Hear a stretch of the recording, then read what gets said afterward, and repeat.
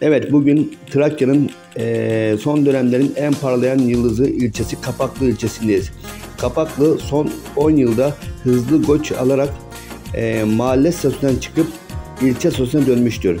Şu an arazimizin üzerindeyiz. Arazimiz Kapaklı Yanıkal Mahallesi'nde yer almaktadır.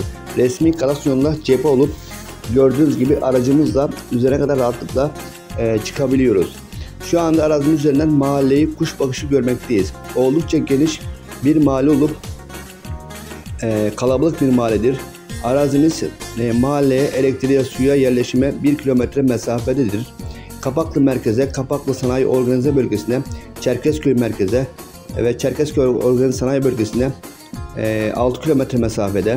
Çorlu, Benimeşe Organize Sanayi Bölgesi'ne de yine aynı şekilde 6 kilometre mesafededir. Siz de yatırımlarınızı ertelemeyin. Doğru zamanda doğru yerde yapın. Yarınlara güvenle sarılın. Bizleri takip